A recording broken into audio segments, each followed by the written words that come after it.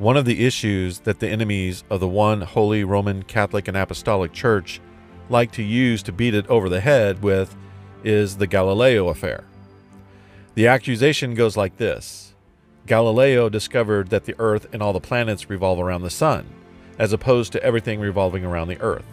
He tried to tell everyone, but the Catholic Church arrested him, put him on trial, threw him in the dungeon, and tortured him until he recanted. However, since then, the world has come to accept that it has been proven that the Earth revolves around the Sun and not the other way around. But is all of that true? First, we need to give a little background. Medieval Europe was not 20th or 21st century America. There was no such thing as freedom of religion, freedom of expression, or freedom of speech, and the Catholic Church had oversight over science. So we cannot expect the Catholic Church or the people of that time to have the same values that we have now. Those values would have been foreign to them. You don't have to like that, but you do need to take it into consideration. Also, when the Catholic Church had oversight over the affairs of science, scientists could not call something a fact unless they could prove it. This comes into play with the Galileo controversy. Next, we need to recognize that this has nothing to do with flat Earth. Whether people believed in a flat Earth or a round Earth was not the issue. The issue was geocentrism, which means everything revolves around the Earth, and heliocentrism, which means everything revolves around the Sun. Now let's dispel a few myths. Myth number one it has been proven that the Earth revolves around the Sun. This is not true. We can neither prove nor disprove heliocentrism or geocentrism. This has been admitted by many modern scientists, including Albert Einstein and Stephen Hawking, because everything is relative. The only thing we really know for sure is that something is moving. Either we are moving along with everything else, or everything else is revolving around us. And no matter where you stand in the universe, it looks like everything is revolving around you. There have been attempts to prove the Earth is moving, and they've all failed. And I'll tell you how I know this.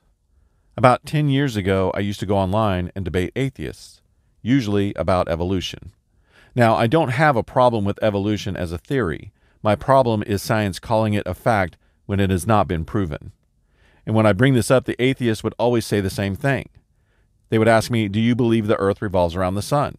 I would say yes. Then they would say, We don't know for sure. You can't prove it. We can't detect the motion of the earth. But since everything else in the universe revolves around something, the assumption is that we do too. And a consensus of scientists say it's a fact, so it's a fact. Myth number two the Catholic Church had a problem with the heliocentric model, and that's why they persecuted Galileo. This is easily disproved by the fact that the heliocentric model was not developed by Galileo, but rather by Nicholas Copernicus, who was a churchman and whose research was funded by the Catholic Church, as Galileo's was. The Catholic Church never persecuted Copernicus because they didn't have a problem with the model itself, and the Catholic Church knew what Galileo was researching. In fact, the Catholic Church came up with the Gregorian calendar based on the Copernican model.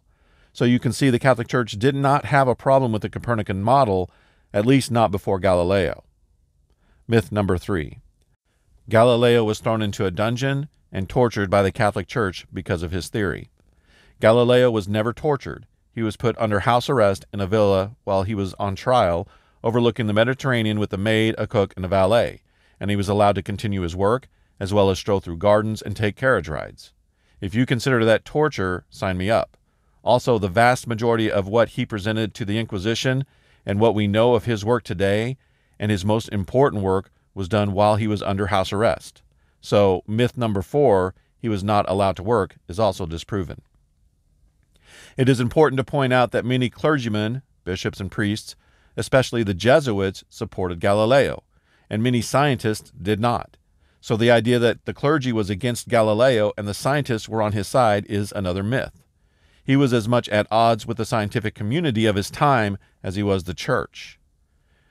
Everyone involved, including Galileo himself, were devout Roman Catholics, God believing, Jesus worshiping, Eucharist adoring, Mary venerating Catholics.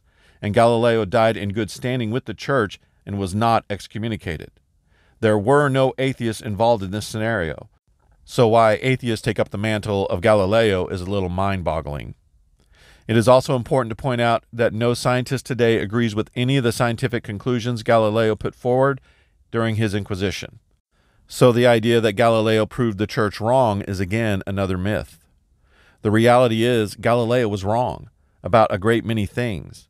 For instance, he believed that the tides were evidence of the motion of the earth. In other words, he believed the motion of the earth was what caused the tides to come in and recede. Today, no scientist believes that. Rather, they all believe that it is because of the gravitational pull on the moon. And what Galileo was proposing was not the heliocentric model that we know of today. What he was saying, as well as Copernicus, was that the entire universe revolved around our sun. And of course, no scientist believes that today. So, if the Catholic Church did not have a problem with his scientific theory, and many clergymen, including bishops, supported him, how did he get into trouble with the Catholic Church? Well, Galileo was a genius. And like a lot of geniuses, he was very arrogant and would not admit when he was wrong, even when confronted with overwhelming proof. He would stubbornly hold to his incorrect position, such as his tides hypothesis. He also liked to show off his intelligence by publicly humiliating people, and he was not well liked by his peers. Of course, Galileo was not brought before the Inquisition for being a jerk, but it does play a significant role when he is. He claimed the heliocentric model that the Earth revolves around the Sun was a fact, but he could not prove it.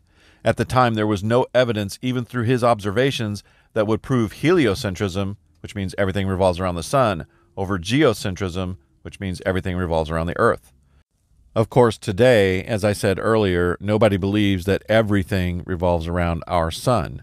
The heliocentric model has been retooled over the centuries to the model that we have today that says there are solar systems, and in each solar system, the planets revolve around their sun, and then those suns revolve around the galaxy, and then the galaxies revolve around the universe.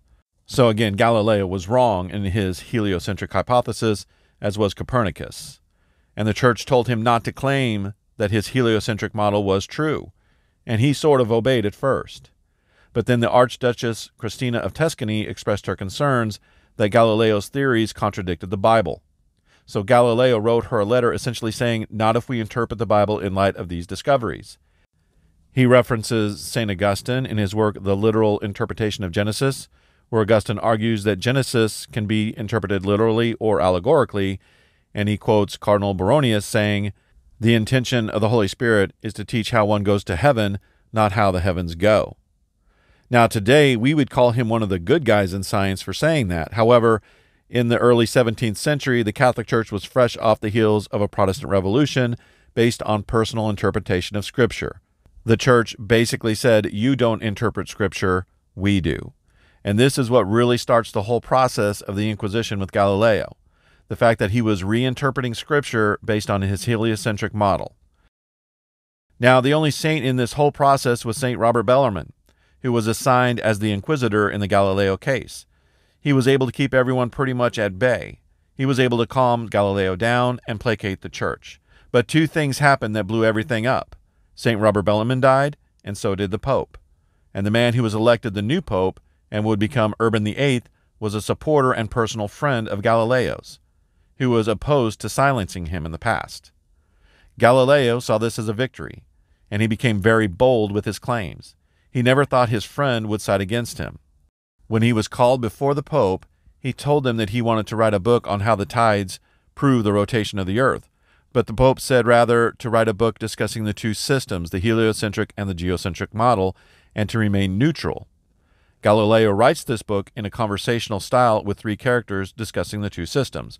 One character defends heliocentrism, another is a rational man listening to the arguments, and the third is an idiot named Simplicio who defends geocentrism. The book is heavily in favor of heliocentrism. Now, he might have gotten away with it, except the idiot character, Simplicio, quotes the Pope. His friend the Pope feels betrayed and insulted by Galileo and has him brought before the Inquisition, and he is charged with disobedience. The Holy Office produces a letter from Robert Bellarmine stating that Galileo had been ordered not to teach or defend the Copernican system, and Galileo produces a letter from Bellarmine contradicting that letter, and Robert Bellarmine is dead and can't clarify the matter. In the end, the Inquisition stated, We pronounce, judge, and declare that you, the said Galileo, have rendered yourself vehemently suspect by this holy office of heresy, that is, of having believed and held the doctrine which is false and contrary to holy and divine scriptures, that the sun is the center of the world, and that it does not move from east to west, and that the earth does move and is not the center of the world. Galileo was sentenced to house arrest, again, not in a dungeon or regular prison, but in a house across the street from a convent that housed his daughter, who took care of him. He died in good standing with the church while under house arrest. Now, some say the church overreacted, but the reality is Galileo was saying the heliocentric system was a fact when he could not prove it. Of course, in hindsight today, we look at this and say the church was wrong. Perhaps, but that does not hurt the church's infallibility since inquisitions are not considered infallible. And to say that the Galileo controversy proves the church was anti science is ludicrous considering there would be no modern science were it not for the Catholic Church. The Catholic Church is the one who encouraged and funded the study of the natural sciences that led to all these discoveries.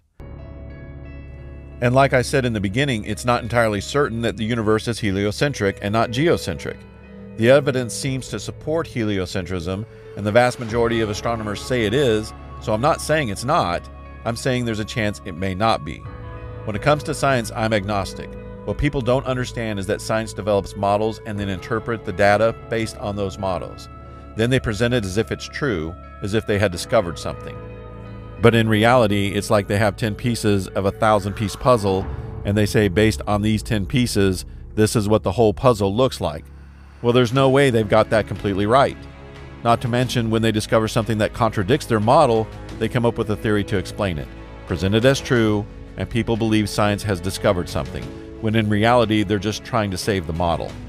The models say the answer is 5, but the evidence says 2 plus 2, so they assume a plus 1 and add it and say, We know it's there, we just haven't found it. The best example of this is dark matter and dark energy.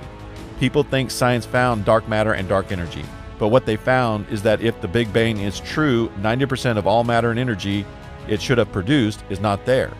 But rather than say maybe the Big Bang isn't true, they say, no, the matter and energy is there, we just can't detect it. But the same data can be interpreted in light of alternative models just as easily that don't require those placeholders. But I realize the current models that seem on the surface to contradict the Bible could be correct.